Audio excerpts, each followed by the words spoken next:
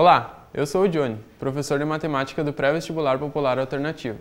Estou aqui para te dar umas dicas para a prova. No que se refere à função do primeiro grau, devemos lembrar que ela é do tipo ax mais b, onde a nos indica a inclinação da reta, ou seja, o coeficiente angular, e o b nos mostra onde o gráfico vai cortar o eixo y, neste caso, coeficiente linear. Já para a função de segundo grau, f de x é igual a ax quadrado mais bx mais c. O a nos indica a concavidade da parábola, se for positivo para cima e se for negativo para baixo. Para achar as raízes, lembrar da fórmula de Bhaskara. x é igual a menos b mais ou menos a raiz quadrada de b ao quadrado menos 4ac dividido por 2a. O vértice também é muito importante. A coordenada x do vértice vale menos b sobre 2a e a coordenada y vale menos delta sobre 4a. Na parte de exponencial e logaritmo, dá uma revisada nas propriedades e sempre lembrar que uma é inversa da outra. Se liga na parte da estatística, olhe bem os gráficos, leia com atenção a fonte sobre o que se trata. E também é importante a unidade, por exemplo, algo que relacione tempo, pode ser em dias, meses ou anos. Isso pode te ajudar na interpretação do exercício. No conteúdo de progressões, recorde a razão da PA. R é igual a A2 menos A1.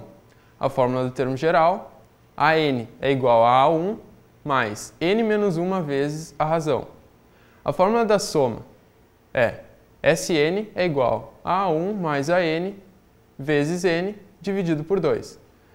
Já para PG, encontramos a razão dividindo A2 por A1. A fórmula do termo geral é AN é igual a A1 vezes Q elevado na N menos 1. E para a soma finita dos termos de uma PG, temos Sn é igual a A1, que multiplica Q elevado na N menos 1, tudo isso dividido por Q menos 1.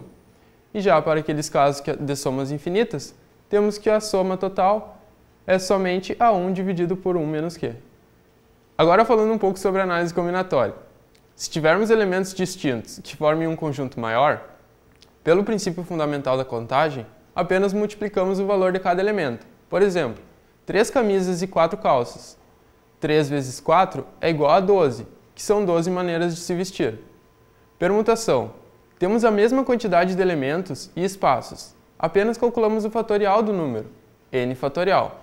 Lembrando que o fatorial é o produto do número e de todos os valores anteriores a ele até chegar ao 1. Caso tenhamos elementos repetidos, devemos dividir pelo fatorial do valor de cada elemento. Arranjo de combinação, temos a quantidade de elementos maior do que a quantidade de espaços. Se a ordem importar, usamos o arranjo, se não, a combinação. Recorde as fórmulas das áreas e perímetros de todas as figuras planas, pois isso será importante na resolução de exercícios de geometria espacial.